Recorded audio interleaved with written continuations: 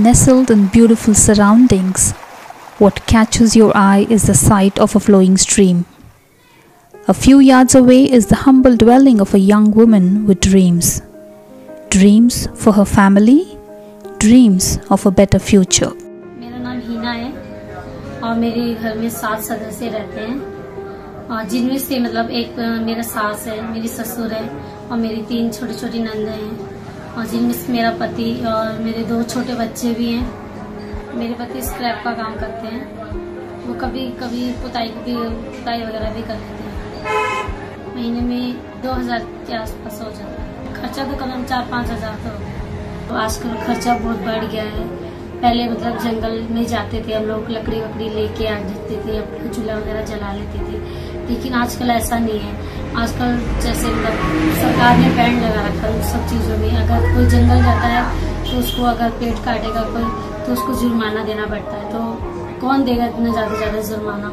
तो उसकी वजह से हम लोग किसी से मांग कर या किसी से लेकर सिलेंडर में थोड़ा एक महीने का भरवा लेते हैं। सेंटर में तो मैं मच्छर है। काफ़ी मस्ती में जाके। हाँ लगता ही नहीं कि मतलब घर से थोड़ा सा दूर है।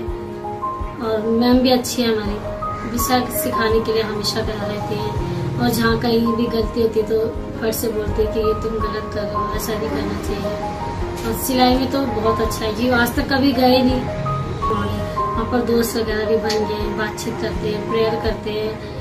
गाने गाते हैं बच्चन मेमोरीज पढ़ते हैं तो थोड़ा मन में मतलब शांति हो जाती है कि हाँ और जैसे प्रार्थना करते हैं तो थोड़ा मन भी हल्का सा हो जाता है तो जब से मतलब ट्रेनिंग आई है, तब से थोड़ा बहुत लाभ है। जो पैसे मतलब बाहर देने पड़ते थे, बच्चों के कपड़ों के सिलने के लिए, जैसे मतलब छोटे बच्चे के बेटी की फ्रॉक वगैरह सिलने के लिए, सौ पचास रुपये जो भी देने पड़ते थे, वो आजकल मैं खुद ही सिल के खुद ही बना के, खुद ही पहना देते हैं बेटी को पता चल रही है कि हाँ घर में अगर दो लोग कमाने वाले होते हैं तो कैसे मतलब घर में, घर का माहौल अच्छा होता चला जाता है। अगर एक इंसान कमाएगा तो फिर उसका खर्चा मतलब बैठता रहेगा। अगर दो लोग कमाते हैं तो उसी उसी से मतलब दो लोग घर चला सकते हैं। दलितर कुंभी जो सेंटर है, उससे मतलब मेरे घर की आर्थिक स्थिति है जो मतलब पहले से मतलब बहुत अच्छी हो गई है और मैं अपने पति के मतलब पति का हाथ भी बटा रही हूँ उनकी इनकम और मेरी खुद की जो थोड़ी बहुत इनकम होती है उससे मैं अपने बेटे की फ़ीस का तो कर ही देती हूँ। और और कुछ नहीं तो मतलब ये तो है कि हाँ मैं भी कुछ अपने, उनके प्रति अपनी ज़िम्मेदारी निभा रही हूँ।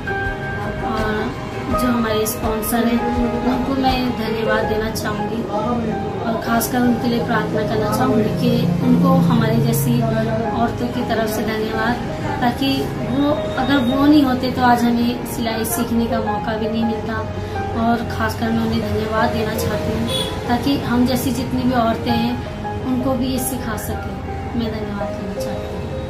India Transformed has been a ray of hope for Hina and many others like her. In helping them to achieve their dreams. For women who were once confined to their homes and whose hands labored with cooking, cleaning, and washing now boast of a new skill. Your sponsorship has brought a new meaning to their lives and has enabled them to reshape the course of their family's future.